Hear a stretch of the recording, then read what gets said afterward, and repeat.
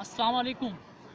मेरा नाम आसिफ है और मेरा ताल्लुक़ पाकिस्तान से है, लेकिन मैं इटली में रहता हूँ। लेकिन मैंने लास्ट नाइट दो वीडियो शेयर की थी फेसबुक पर और अपने पेज पर।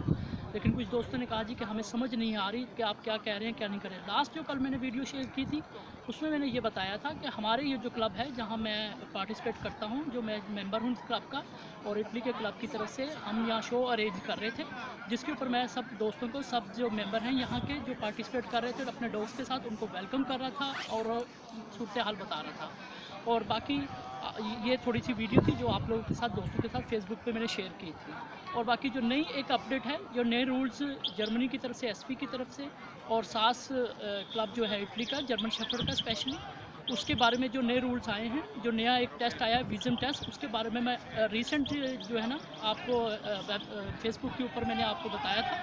उनकी मैंने पिक्चर्स भी लोड की थी, लेकिन उसकी मजीद मज़ीद जो वीडियो हैं वो इंशाल्लाह कमिंग सून मैं आपको अपलोड करूँगा और उसकी एक्सप्लेन भी करूँगा कि कितनी कैटेगरीज के, कितने पार्ट्स के ऊपर ये टेस्ट होता है, ताकि हमारे जो पाकिस्तानी भाई इंडियन भाई हैं, उनके